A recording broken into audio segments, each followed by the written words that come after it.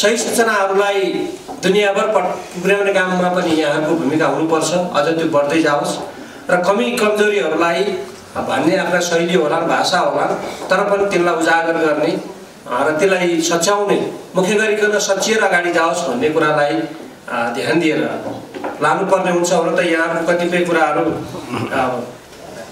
मिडियाका मालिकहरूका पनि आफ्ना यहाँहरूले पठाउनुहुन्छ। अब छापामा गयो यहाँले रिपोर्टिङ गरेको लेख्नेले कसरी लेख्नुहुन्छ कहिलेकाहीँ त्यहाँनिर गएर एडिटिङ गर्दाखेरि कतै आफ्नो आशय आफूले लेख्यो भन्दा बाहिरको भाषा मर्का त यहाँलाई पनि फेरि अरू अरू होला।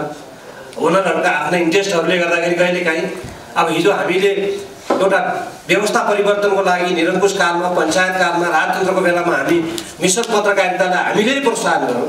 हामी चाहे विद्यार्थी आन्दोलनमा लाग्नु या पार्टी आन्दोलनमा लागेर गर्दाखेरि त्यो बेला मिसन के थियो?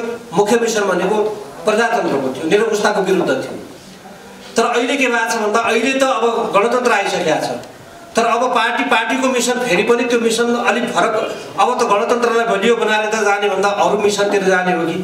त्यता नबकियोस् यस्तो बेलामा चाहिँ हामीले अब दुनियाँका नेपालबाट हामी सबैले नेपाललाई माथि उठाउने क्रममा मिडिया क्षेत्र पनि दुनियाँका अरूभन्दा जस्तो अहिले पनि हामीले सुन्दाखेरि बाहिर बिबिसी सिएनएन यस्तो भन्ने ठाउँमा नेपालको मिडिया अब दुनियाँले सुन्ने बनाउने के गर्नु पर्ला त्यो हिसाबले प्रतिस्पर्धी बनाएर जानको लागि दुनियाँमा हामी नेपाल सगरमाथाको देश बुद्ध जन्मेको देश होइन?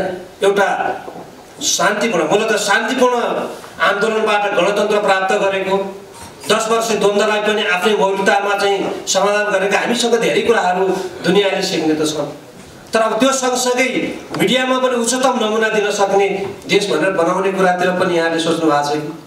नभए सोचिदिनु होला।